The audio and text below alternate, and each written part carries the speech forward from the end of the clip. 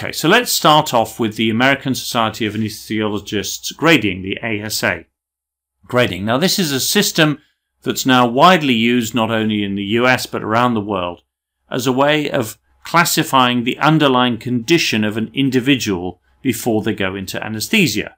Because clearly there are some patients who are, less likely to have problems and therefore are going to need less uh, preparation in terms of investigations beforehand, less sort of seniority of supervision and so on.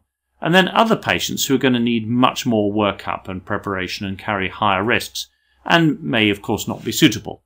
So let's start by looking at the grades and then we'll just talk briefly about how these are used. So ASA grade 1 is a healthy normal person. That includes the fact that they don't smoke and minimal drinking. ASA 2 is defined as mild systemic disease. Now that's a healthy person who smokes and the other things here pregnancy, obesity, good diabetes, mild hypertension, mild asthma. So those would put you as an ASA 1 and 2, those two categories. So ASA 2 uh, has got mild disease, and those two categories that we've just covered are generally seen as fairly low risk and straightforward anesthetics. But then when we move to ASA 3, we're now getting onto more severe disease. So high blood pressure, bad diabetes, a history of a myocardial infarction in the past or a stroke, and the various other things that it talks about here COPD, dialysis, defibrillated, uh, implanted pacemakers, etc.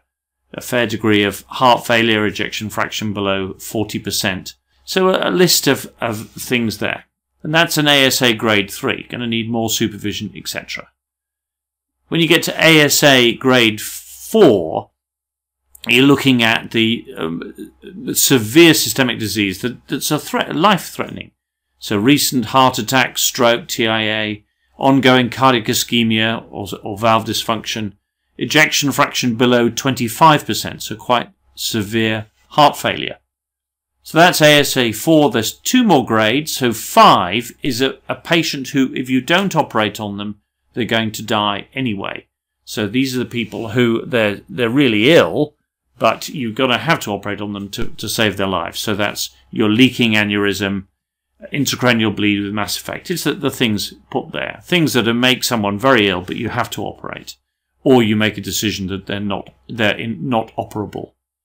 And then the final grade is a rather sad grade. This is just for somebody who's essentially brain dead, who you're going to take the organs. And so you're not, therefore not concerned so much about the, uh, the welfare of the patient long term.